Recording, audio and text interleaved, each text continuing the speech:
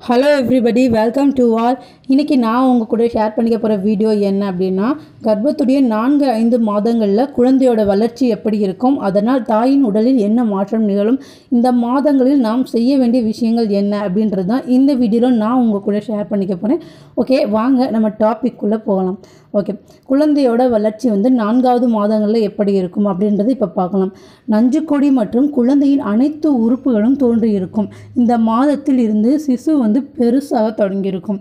வெளிப்புற பாலின உறுப்புகள் உறுப்புகள் வந்து வளர்ச்சி அடைய ஆரம்பிச்சிருக்கும். குழந்தை வந்து தூங்குறதும் விழிக்கிறதுமா இருக்கும். வெளிப்புற சத்தங்களை கேட்க தொடங்கும். பனிக்குட நீரில் வந்து குழந்தை வந்து சுற்றி சுற்றி வர ஆரம்பிச்சிருக்கும்.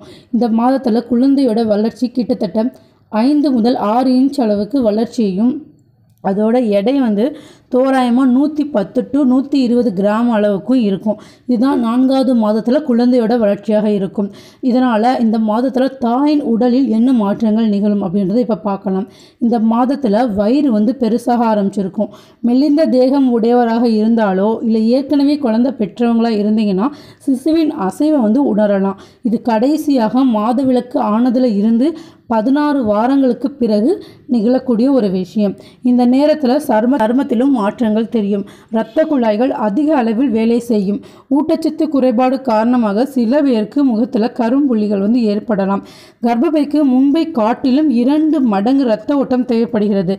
சிறுநீரகத்துக்கும் இருபத்தஞ்சு சதவீதம் அதிகமாக இரத்த ஓட்டம் தேவைப்படுகிறது. அதனால் இதயம் வந்து அதிக அளவில் வேலை செய்ய ஆரம்பிக்கும்.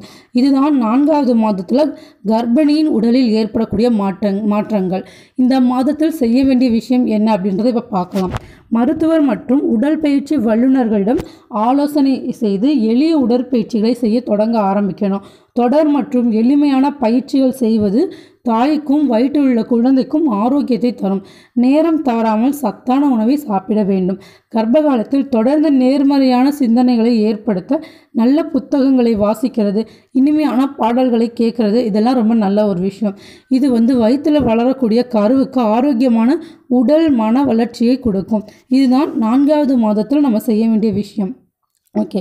ஐந்தாவது மாதத்தில் குழந்தையோட வளர்ச்சி எப்படி இருக்கும் அப்படின்றது இப்போ பார்க்கலாம் ஐந்தாவது மாதத்தில் குழந்தை வந்து கை விரல்களை சூப்பியது போதாது அப்படின்னு குழந்தைகள் வந்து கால் விரல்களையும் சூப்ப ஆரம்பிச்சிருவாங்க. குழந்தைக்கு விக்கல் ஏற்படலாம். முடி கண் இமை புருவம் வளர ஆரம்பிக்கும். குழந்தையின் இதய துடிப்பு குழந்தையின் இதய துடிப்பு சாதாரணமாக ஸ்டெத்தஸ்கோப் மூலமாகவே கேட்க முடியும். குழந்தையின் எலும்புகள் வந்து வலுவடைய தொடங்கும். எலும்பு மஜ்ஜைகள் உருவாக தொடங்கும். இந்த இந்த எலும்பு மஜ்ஜை இரத்த சிவப்பு அணுக்களை உற்பத்தி செய்யும்.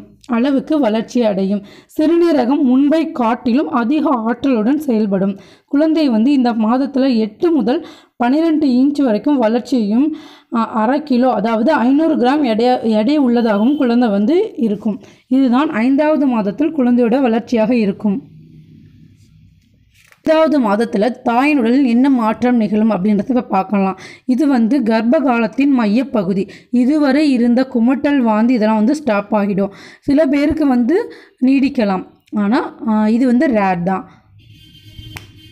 ஓகே இப்போ ஐந்தாவது மாதத்தில் தாயின் உடலில் ஏற்படும் மாற்றங்களை பார்க்கலாம். இது வந்து கர்ப்ப காலத்தின் மையப்பகுதி. இதுவரை இருந்து வந்த குமட்டல் வாந்திலாம் வந்து நமக்கு வந்து ஸ்டாப் ஆகிடும் ஆனால் அது ஒரு சில பேருக்கு வந்து நீடிக்கலாம். இருந்தாலும் சாப்பிட்ட சாப்பிட்ட பிறகு நெஞ்சு எரிச்சல் செரிமான குறைபாடு இதெல்லாம் வந்து நீடிக்கும். மலச்சிக்கல் மற்றும் இடுப்பு வலி ஏற்படலாம். இடுப்பகுதி தளர்வு அடைவதால் இந்த வலி வந்து வழக்கமான ஒன்று தான் வலி அதிகமாகவோ அன்றாட வாழ்க்கையை வந்து பாதிக்கிறதாகவோ இருந்தால் டாக்டர்கிட்ட கண்டிப்பாக கன்சல்ட் பண்ணிக்கணும். குழந்தைக்கு பாலூட்டுவதற்காக பால் சுரப்பிகளில் மாற்றங்கள் ஏற்படும். சிலருக்கு இந்த நேரத்தில் மார்பகத்தில் ஒரு வகையான திரவம் சுரக்கலாம். இது எதிர்காலத்தில் குழந்தைக்கு தாய்ப்பால் புகட்டுவதில் எந்த பாதிப்பையும் ஏற்படுத்தாது. அதனால் பயப்பட தேவை கிடையாது. இதுதான் ஐந்தாவது மாதத்தில் கர்ப்பிணியின் உடலில் ஏற்படக்கூடிய மாற்றங்கள். ஓகே இந்த ஐந்தாவது மாதத்தில் செய்ய வேண்டிய விஷயங்கள் என்ன அப்படின்றத இப்போ பார்க்கலாம். குழந்தையின் உள் உறுப்புகளில் குறைபாடு ஏதேனும் உள்ளதா அப்படின்னு நம்ம வந்து தெரிஞ்சுக்கிறணும். தலை முதல் பாதம் வரை ஸ்கேன் செய்து பார்க்கணும். அது வந்து அந்த அந்த ஸ்கேனுக்கு வந்து அனாமலி ஸ்கேன் அப்படின்னு சொல்லுவாங்க.